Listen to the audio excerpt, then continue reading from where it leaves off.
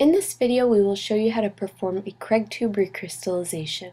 You will need a hot plate, aluminum heating block that you've preheated, your recrystallization solvent, a vial containing a few milliliters of your solvent, and you'll put that on your hot plate to heat using a boiling stick. You will also need your Craig tube insert with copper wire, your Craig tube, another boiling stick, and the solid that you will be recrystallizing. Add your solid to the Craig tube and use a pipette to transfer a few milliliters of your boiling solvent to the Craig tube. You do not need the solid to dissolve at this point. Then put your Craig tube into the heating block and add your boiling stick. Now you'll want to add a few milliliters of your boiling solvent.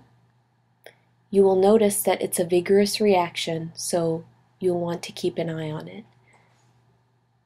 The solid dissolves pretty fast and you can pull it off the heating block. Remove your boiling stick and then place your Craig tube in a beaker to allow the solid to crystallize. If crystals do not begin to form immediately, allow your Craig tube to cool to room temperature and then add an ice bath. You see here that crystals are starting to form at the bottom of the Craig tube in the ice bath. The crystals will continue to fall out of solution as time passes. Once the crystallization is complete, you can remove the tube from the ice bath and move on to the centrifuging step. What you will need is a centrifuge tube that's filled with water. This will be your counterbalance in the centrifuge. And an empty centrifuge tube without a cap. You will need your Craig tube insert with the copper wire and your Craig tube. Take your Craig tube and cap it with the Craig tube insert. Then we put our party hats on and put the centrifuge tube over the Craig tube, making sure that the copper wire is sticking out of the top.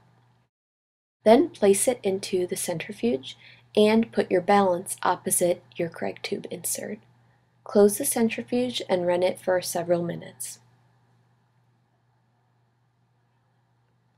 If you still see solid in your Craig tube, you will want to continue to centrifuge for a few more minutes.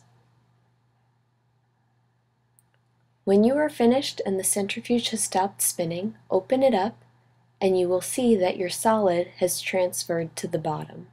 Use your copper wire to pull out the setup. Then you will want to empty your solid onto a watch glass or a piece of weigh paper so you can weigh the solid. You can simply remove the Craig tube insert from the Craig tube and use the insert to tap out any solid remaining.